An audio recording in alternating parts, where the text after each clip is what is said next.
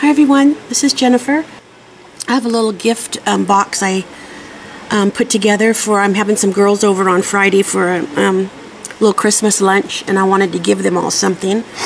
And you remember the little, um, these little boxes from, the strawberry boxes from Michaels. I'm sure you all saw those. But anyway, I decorated the front of them. I just put some red ribbon around. This is some um, K&Company cutouts that I've had for a couple years. And those are some, oh, I don't remember who those are by. Some little, I think Recollections. I got it at uh, Michael's. And I just glued them on, put some of this paper in, and I, I bought these ornaments at Michael's. They're like little um, Christmas packages. I got the red. They came in a, um, a six pack, three red and three green. No, four pack, take that back. A four pack.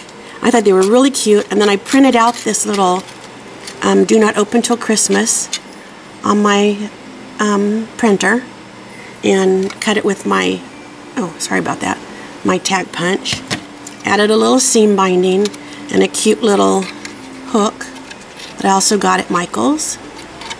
And here's the green one. Has a red bow. And then I wrapped them in some a bag, put a little these little clothespins from Michael's. And I just set it in here and I found these really cute bars at Home Goods. They're all different. So I just put those in. And then there's my little gift. Sorry, you can't see that very well. There you go. So that's one of them.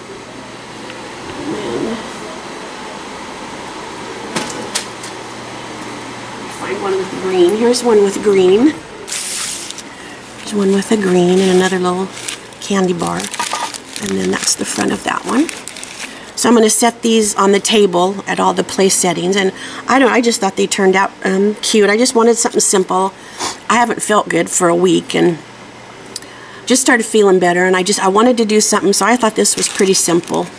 Just some hot glue and some ribbon and um, I had all these on my curating Christmas table. I just walked over to my table and found these little things and stuck them on there. So anyway, that is my um, my little gift boxes for Christmas.